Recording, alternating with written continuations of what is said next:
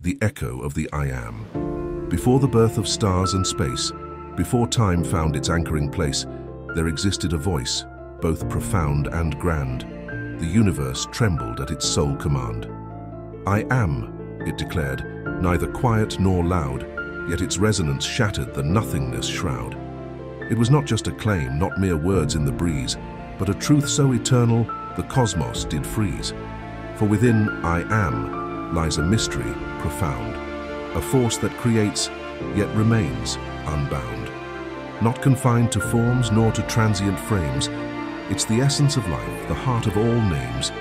It's the pulse of existence, the core of our soul, the very fabric that makes everything whole. It's in every atom, every space in between. In moments of silence, its whispers are seen.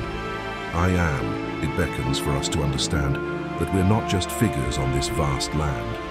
We're mirrors of cosmos, reflections so true, holding within that same vastness too. For when we say I am with conviction and might, we align with that force, that primordial light. To understand I am is to truly see the infinite potential in you and in me. To grasp the great I am in all of its grace is to recognize God in every face. For within its simplicity, within its decree, lies the truth of existence, the key to be free.